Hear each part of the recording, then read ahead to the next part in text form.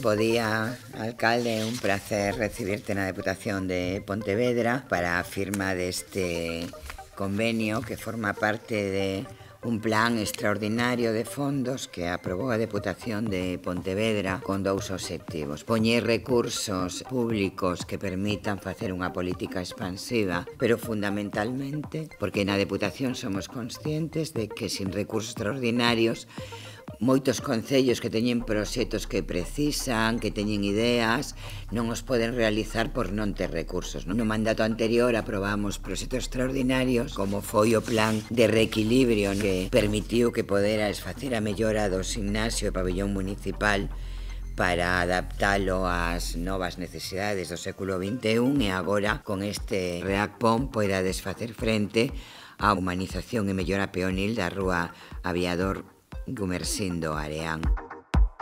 Este proxecto ten un orzamento total de cerca de 450.000 euros. A Deputación vai aportar cerca de 405.000 euros e o Concello de Rodeiro terá que aportar cerca de 45.000. Simplemente darlle as gracias porque ese dinheiro velo de maravilla e seguiremos contando coa Diputación para que nos siga axudando.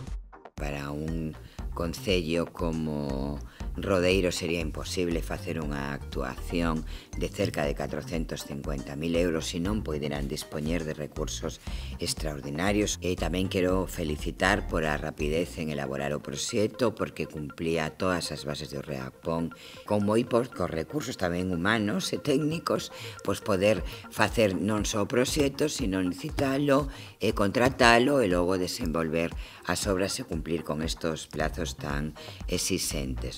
Thank you.